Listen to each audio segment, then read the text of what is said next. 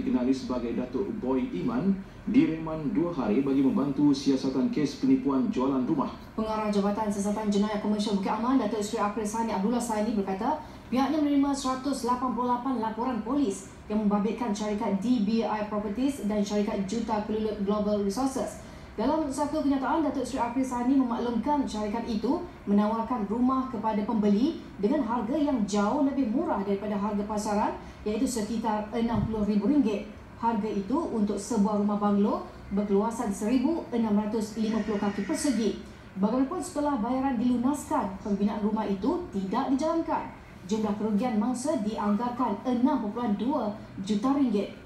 Polis turut merampas dua buah kereta mewah, tiga unit telefon bimbit, sijil doktor falsafah dari Samaritan Mission International University dan berbagai dokumen Siasatan kemudian membawa kepada penahanan dua lagi suspek utama yang juga pemilik syarikat Juta Kelulut Global Resources masing-masing berusia 45 dan 29 tahun. Siasatan dijalankan di bawah Seksyen 420 Kanun Kesiksaan. Tak, aku terangkan. Kena terang, tak Ah, kena terang. ah, saya- Jadi semua tu telah dipulangkan. Sementara itu, Persatuan Pengguna Islam Malaysia PPIM berhasrat membantu mangsa-mangsa yang terjejas dengan skim jualan rumah itu untuk mengambil tindakan undang-undang.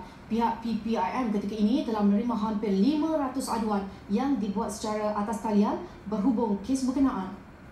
520 ribu. PPIM juga sedang meneliti tindakan selanjutnya bagi memastikan mangsa yang terjejas terus menerima pembelaan. kita juga sedang melihat sekira dari sudut civil lah sekiranya kat, kalau kata tidak dapat diselesaikan kita juga akan membuat PPM akan cuba untuk lead untuk membuat tuntutan civil kepada masa-masa yang telah rugi kepada uh, syarikat-syarikat terbabit lah. Satu lagi yang lebih penting saya minta supaya uh, jawatan kuasa khas yang yang menyiasat ini tidak hanya melihat dari sudut kanun kesiasaan 420 kanun kesihatan penipuan.